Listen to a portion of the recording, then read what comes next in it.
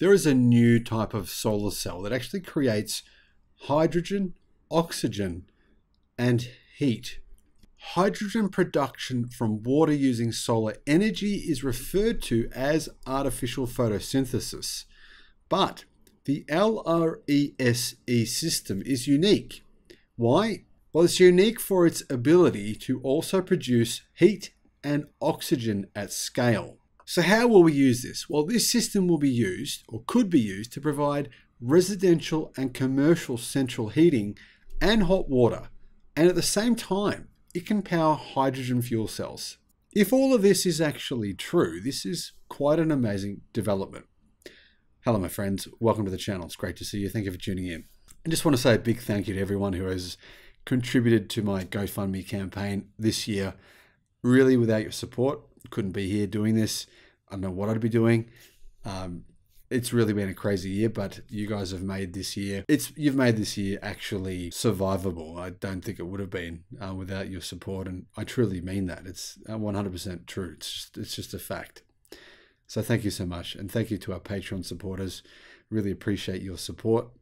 Also, thank you so much to our YouTube members. By the way, if you want to be a member, you do get access to some of our videos in advance, usually around three or four days before they're published on the main site. A parabolic dish on the EPFL campus is easily overlooked. It resembles a satellite dish or other telecommunications infrastructure. But this dish is special. It's different. Why? Because it works like an artificial tree. After concentrating solar radiation nearly 1,000 times, a reactor above the dish uses that sunlight to convert water into valuable and renewable hydrogen, oxygen, and heat. I mean, it's basically one thing creating three different things that human civilization needs.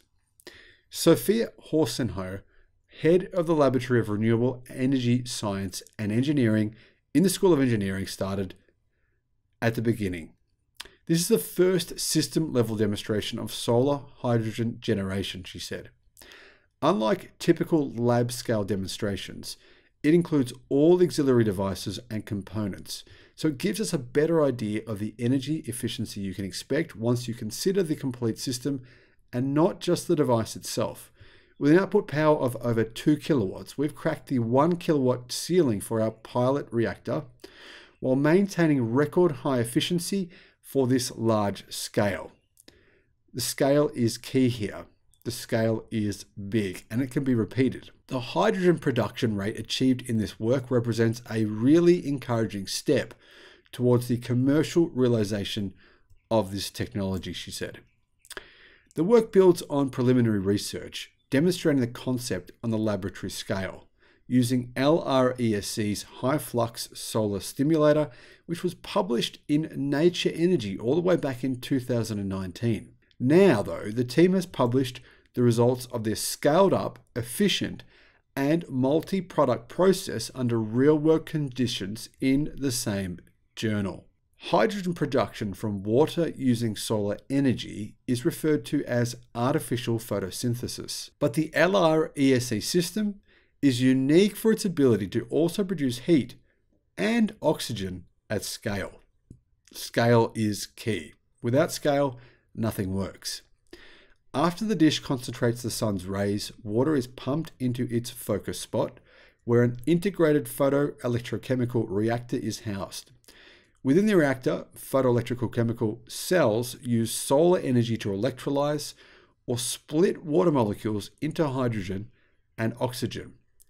Heat is also generated by this process, basically like free heat. But instead of being released as a system loss, the heat is passed through a heat exchanger so that it can be harnessed for ambient heating.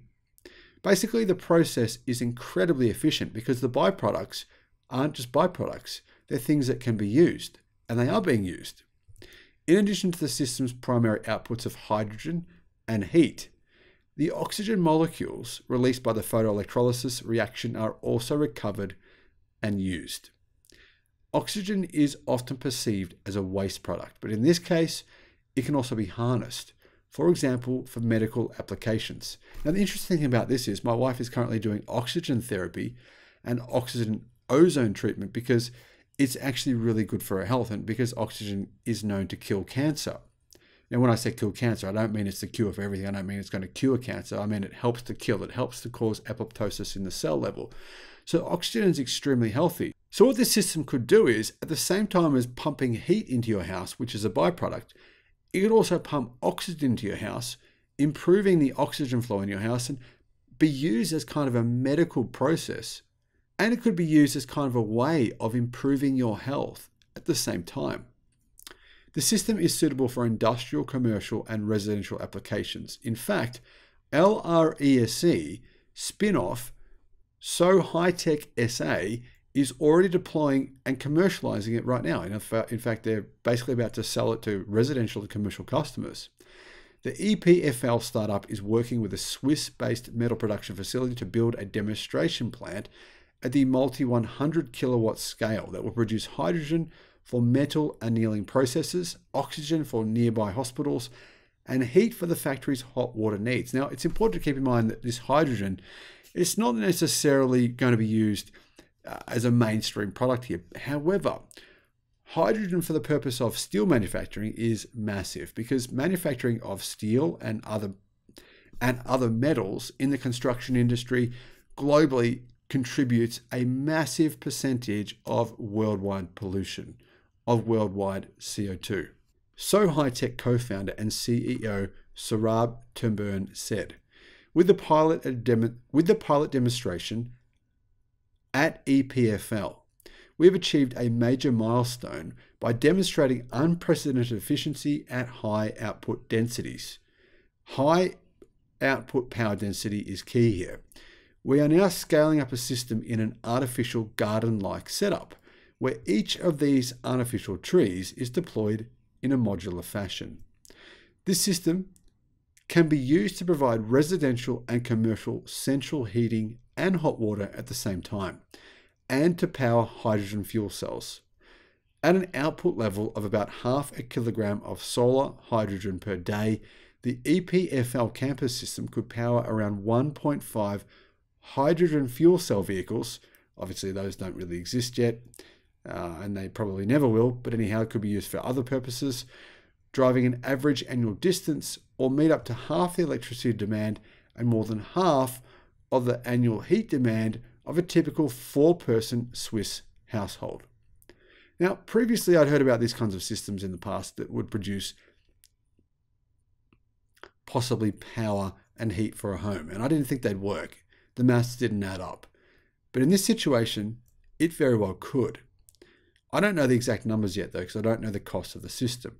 So we can't really analyze it in comparison to other technologies such as solar, batteries, and wind. With their artificial photosynthesis system well on its way to scale up, Haussener is already exploring new technological avenues. In particular, the lab is working on a large scale solar powered system that could split carbon dioxide instead of water, yielding useful materials like, synerg- like syngas for liquid fuel or the green plastic precursor ethylene. The ability to market three products at the same time, hydrogen, oxygen, oxygen and heat, has to help the economic outlook for this technology. Now, realists will say that the test rig output on a sunny day is going to be a bit shy of 17 amps or a bit over the standard US 15 amp single circuit. And that's true. Thinking this will power a typical home is a mind stretcher because it won't really, at least not yet. On the other hand, this is definitely solar progress. It goes to the triple product output. However, the press release isn't exactly clear on what that would sum up to be annually. It might be better than a simple photoelectric cell though. Even with the increased investment for the oxygen and heat handling, we don't know how much the economic benefit would be, but in theory, this all sounds pretty amazing. Now, clearly, this approach is going to need and get more recognition and more investment. Will it? I think it probably will. When the maturity gets far enough along to attract engineering and design, The old problems of hydrogen and oxygen in close proximity, what do they do together? Cause explosions. And a heat source close by will require some significant attention. Now, the question I have though is would you be willing to accept these risks? Because I can see a couple of explosions happening if this system has a malfunction. You have to be very careful with this triple combination, which in theory could be somewhat of a bomb. The clear problem that I have with this idea is the, the alternatives are extremely compelling.